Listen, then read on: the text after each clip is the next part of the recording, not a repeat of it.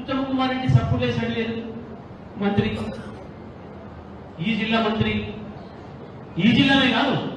ఎడమ కారణం మీద బ్రతుకుతున్న రైతాంగం ఎవరు ఉన్నాడో ఆ రైతాంగమే భిక్ష పెడితే ఐదు సార్లు ఎమ్మెల్యే ఒకసారి ఎంపీ అయిన మంత్రి ఆయన.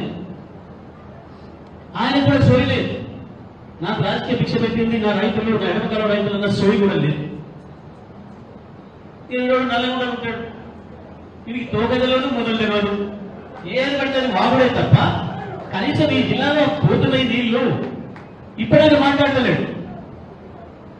ఓ ఉత్తుదానికి ఎగిరెగిరి పడతాడు?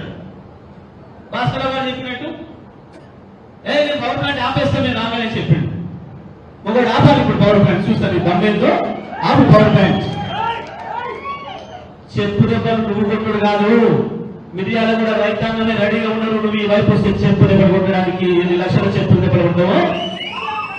మాట్లాడేటప్పుడు నీ పరుగు పాటలు పనిచేయాలి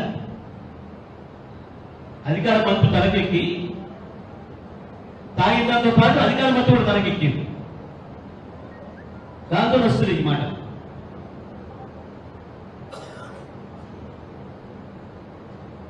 రేపు సాయంత్రంలోగా ఏడాదిగా కేసీఆర్ ఉన్నాడు ఎక్కడ ఉండడం? నాగార్జున సాగర్ ఆ లెక్కలో తెలంగాణ పోలీసులు పెట్టి మన కంట్రోల్ చేయకపోతే మీ ముఖ్యమంత్రితో పాటు మంత్రులందరూ కూడా ఉండనే ముఖ్యమంత్రి మంత్రి ఉండమే రండా.